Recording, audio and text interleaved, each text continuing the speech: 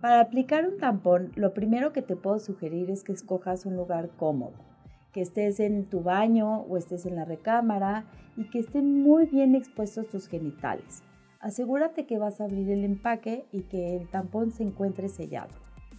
Vas a encontrar este aditamento de plástico el cual vas a introducir por tu vía vaginal. Ahora bien, nosotros tenemos una curva anatómica normal Trata de hacer esta curvatura o simular la curva y no meterlo rectamente.